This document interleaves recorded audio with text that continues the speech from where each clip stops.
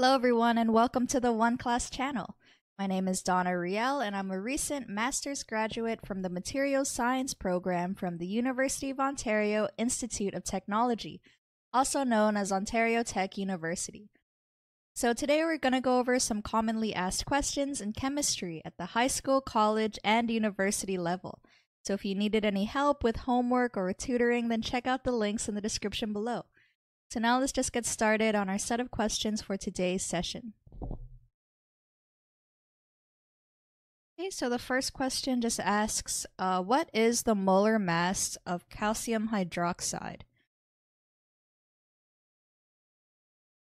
Okay, so to answer this question, we need all of the atomic masses of the atoms that are in calcium hydroxide. And you can just find these values on your periodic table. So the molar mass of calcium hydroxide is equal to the molar mass of calcium plus 2 times the molar mass of oxygen plus 2 times the molar mass of hydrogen. Okay, so the molar mass of calcium is 40.08 grams per mole. And the molar mass of oxygen is around 16 grams per mole.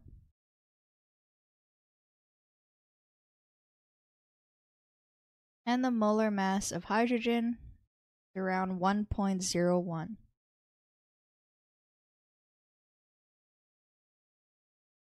Okay, so if we were to add all these values up, we get a total molar mass of 74 0.01 grams per mole. Okay, so let's see what the Janine tutor said.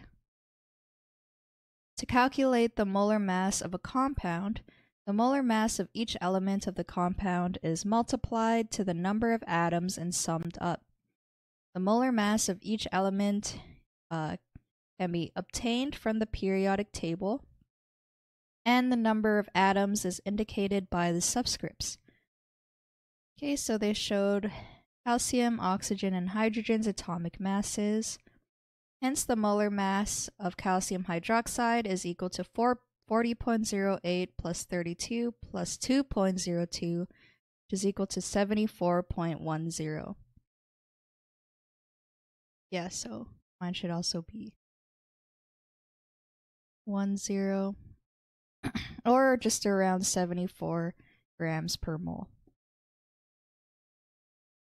Yep, so the solution is correct.